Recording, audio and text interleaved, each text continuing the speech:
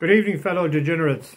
Mickey D here for Cold Beer Sports on Christmas Eve, just gone five o'clock. Um, the last video I done, I lifted up the guitar and I played a song for you, but uh, they wouldn't allow it on YouTube, so I had uh, Mad Merrigan had to uh, block the end of it, so you couldn't hear that. But it's on uh, it's on Facebook. Anyway, uh, I gave three horses anti-post for that. Um, uh, Silver Hallmark, um, Captain Drake, and Lost in Translation. Lost in Translation has gone out to 14s from 12s. That's probably with the rain that's on the way or supposed to be on the way. Captain Drake is still um, not guaranteed a run. Um, the declarations must be tomorrow morning. I thought they were today. Um, and Silver Hallmark is 3 to 1 or 100 to 30, as I suspected he might. So he was a great each way bet at 5 to 1. So hopefully uh, he'd have to be in the first three if he doesn't win it. For my sake, anyway, because there's a nice bit on. Um, I went through all of the cards. It was half three to go to bed last night. Uh, well, I had an interruption of a phone call for an hour and a half about horses in between, but um, went through a lot of them. So what I did was I went through a lot of the handicap hurdles uh, with a view to um, finding horses that I thought were overpriced. And I found three. Um, the first one is in uh, the 147 at Huntingdon, a horse called London Eye. It's a top weight. Um, it's raised to 111. It was uh, rated 70 on the flat it's uh, trained by Chris Dwyer and Jack Tudor has taken three pounds off. Uh, he won a couple of races on the flat and he won he won very nicely in Worcester over two miles on uh, on good ground. Um, and then he was second over two and a half mile in Worcester in October to Big Bad Matty, who was the 72 favourite, who was a very decent horse. So reading between the lines, I'm trying to, that uh, he had a run over the goo in uh, there uh, about nine days ago and uh, over two miles too. And it looked like if they were just trying to get a run into him, you know, for uh, St. Stephen's Day. Uh, it's not an Irish owner. It's uh, it looks like it's a Chinese owner, but I, I he might be like looking for a little tangle.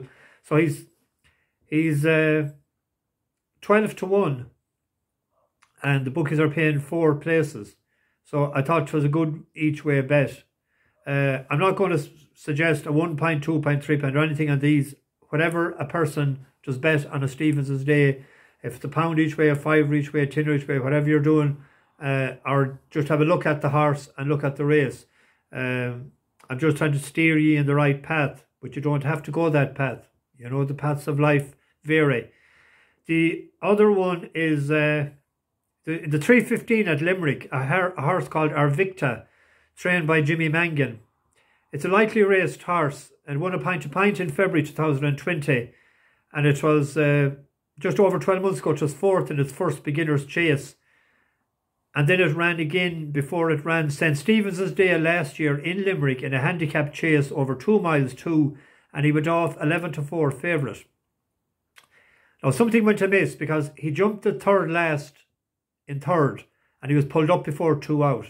And he didn't run until uh, the 16th of December, uh, which was nine to eight days ago. And it was in the race won by Brandy Harbour, who's the 9 to 4 favourite for this. And that was over two mile. And he stayed on nicely to finish fourth. And uh, he won a pint to pint for Jimmy Mangan as well. So the step up and trip to 2 4 will suit him.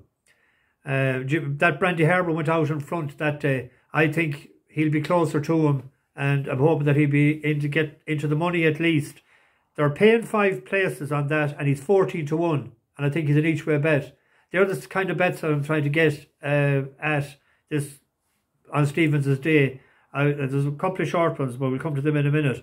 The other one I thought was overpriced is in the 145 at Leopardstown, a Tony Martin horse, and it's not the one that's favourite, at that 6 to 1 favourite. But I was looking at Belgo Prince, 20 to 1. He's off 97. He was the one that ran in Cheltenham there in November, and he was 105 that day, and there was money for him, like 20s into sixes or eights or something. And he he has one on the flat. He won on the flat a mile six on yielding ground in Navan of uh, 60. Um, so the horse that's favourite was only rated 45 with Tony Martin. So this one was a superior beast in the stable. And uh, he had a, a, spin on the flat in Dundalk since uh, since that run in Cheltenham. So I throw that out the window because prior to that he had won a race by three and a half in Navan uh, on the flat like so he's 20 to 1 and they're paying six places. So I thought he was worth an each way bet. He's carrying bottom weight, uh, 9 stone 12 or 13 or something and uh, Peter Carberry is taking the ride. So uh, it's just tempting to look at. Tony Martin has won two of those before. I think it was 2014 and 15 he won. But both of those were like 9 to 2 and 4 to 1. But maybe the money come for this again. But we'll see. Then I have uh, I have two bets, that two horses that I had written down, so I might as well share them with you. Uh, one is on the 120 at Kempton, Danny Kirwan. I know that he's eight years of age, and I know that six year olds has won the last six runnings of this. And I know I shouldn't be tipping him up, but this guy has to go right handed. And anytime he goes right handed, he was he was been first and second in his two runs at Kempton. Um, he jumped violently to the right in Cheltenham the last time. I think it was a podcast we done, and I think myself and uh, Joe and Paddy, the three of us, tipped him as our nap at the meeting, and he finished second. But the the winner went in again, Annual Victus, Invictus, and uh, the fourth and fifth have won uh, as well.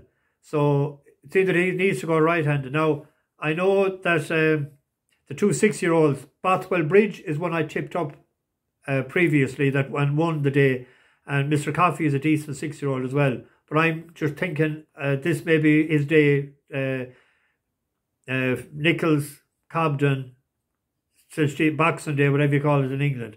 So I'm, and he's uh, seven to two, hundred to thirty, something like that. And the other one is uh, one that I backed in the Punchestown bumper. The last one in at the festival was Apollo 10, uh, Arthur Moore for Chris Jones. Um, he got a howler of a ride up that, that, that day and he was 25s into 9s. I was on him at 16s and I had him down in my notebook saying whenever he'd run again in a bumper, I'd back him. So I haven't backed. But all I can see is 4 to 1.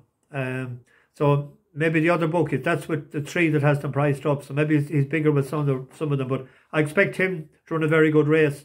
Uh, the, them colours has no bad stock.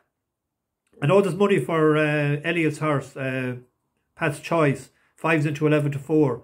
But uh, maybe do a reverse forecast uh, but um, in that race as well. Anyway, Mickey D, have a very Merry Christmas. rushing a little, going for a couple of scoops. It's closing time at 8 o'clock, so I have to get a gallon in. Happy Christmas to everybody, and I might be back on Stevens' day, or if not, the next day after. Happy Christmas. Good luck. Over and out. Bash those bookies.